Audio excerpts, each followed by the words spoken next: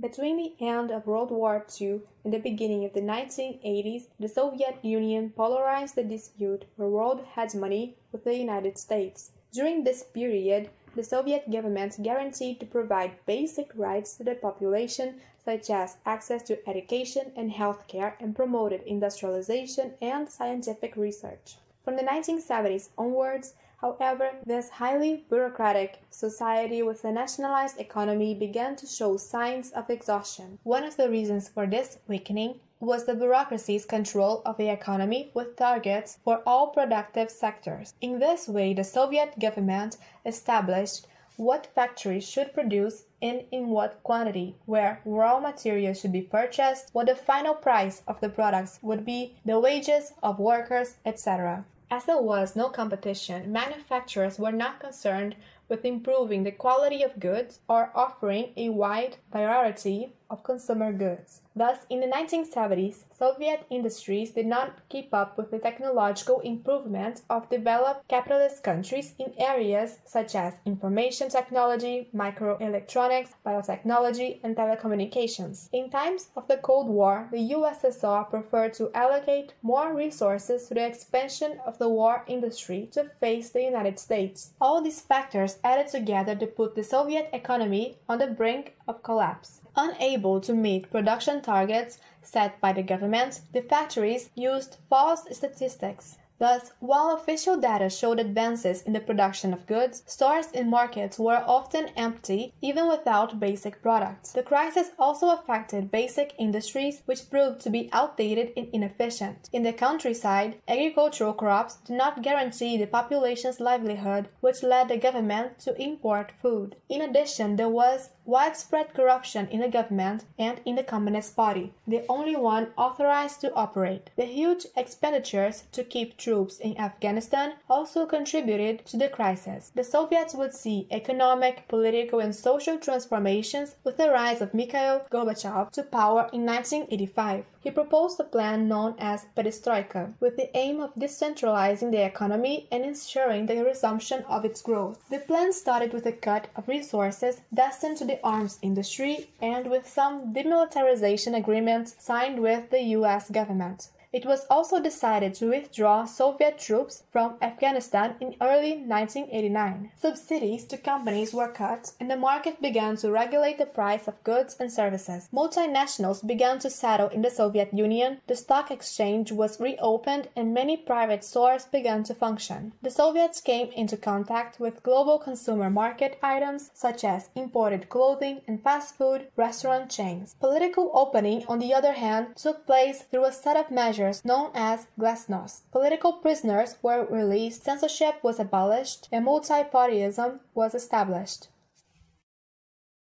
In Eastern Europe, dissatisfaction also increased. In 1980 in Poland, shipyard workers in Gdansk started a strike that spread to other sections of the working class across the country. They protested against the appalling working conditions and demanded the right to organize themselves into unions free from government influence. Thus, the Solidarity Union emerged, an entity led by Lech Walesa. In a short time the demands expanded against censorship, the lack of freedom, and the scarcity of food, for the end of the one-party system, for the freedom of union organization. With his reforms, Gorbachev stimulated the liberalization of the regime also in Eastern European countries under Soviet influence. As a result, a wave of pro-democracy demonstrations spread across the region between 1988 and 1990. In general, the opening process was peaceful. Its main milestone was the fall of the Berlin Wall in 1989. In 1990, Germany was reunified. Three years later, Czechoslovakia peacefully split into two countries, the Czech Republic and Slovakia. One of the few communist regimes that fell violently was from Romania.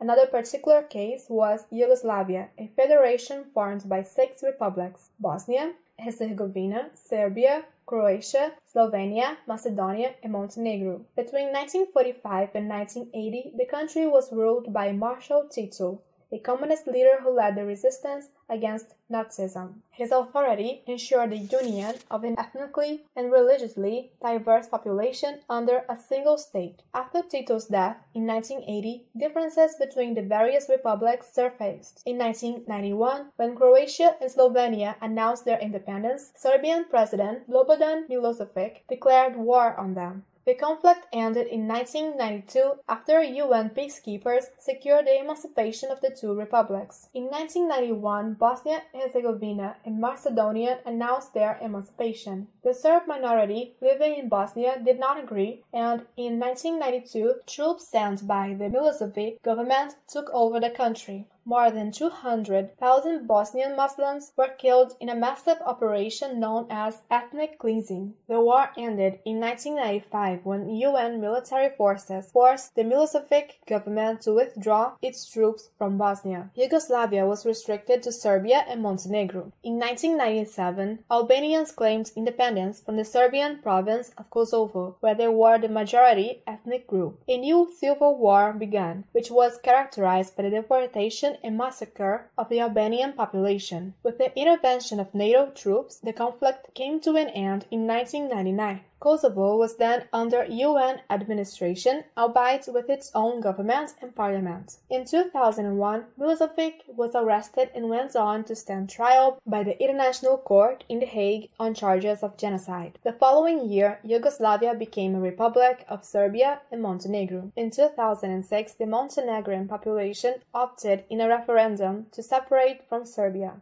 In 2008, Kosovar Prime Minister Hashim Thaçi announced the unilateral independence of Kosovo. The changes implemented by Gorbachev also caused problems for the USSR. Gross domestic product, per capita income, and productivity all fell. With this, the popularity of the Soviet leader began to fall. In August 1991, Former Communist Party leaders, allied with military sectors, attempted a coup d'etat. The population protested in the streets and the coupists retreated. A month later, the Baltic republics, Latvia, Estonia, and Lithuania, declared themselves independent from the Soviet Union. In early December 1991, the presidents of Russia, Ukraine, and Belarus created the Commonwealth of Independent States. Shortly before the end of the year, Gorbachev resigned from the presidency and declared the Soviet Union extinct. The country split into 15 independent nations, 20 autonomous republics, and 8 autonomous regions. With the exception of Estonia, Latvia, and Lithuania, the new countries joined the CIS. With the end of the Soviet Union, ethnic minorities engaged in nationalist and separatist struggles. In the Russian Federation, for example, Chechnya had aspirations to be an autonomous state. Russian resistance is due to the oil fields in the region, which are on the route for Russian oil exports to Western Europe. In Moldova, Georgia, and Tajikistan, there were also this kind of aspiration. Since 1992, Armenia and Azerbaijan had disputed the possession of Nagorno-Karabakh, a territory with a majority Armenian population located in Azerbaijan. Although the polarization of the Cold War period has ended, Russia is still important in international diplomacy and maintains positions that are often at odds with those of the United States. The Russians' desire to maintain its own sphere of influence resulted in support for opposing parties to those defended by the Americans in recent conflicts in the Middle East and in the crisis in Syria, in the Balkans, and in Ukraine.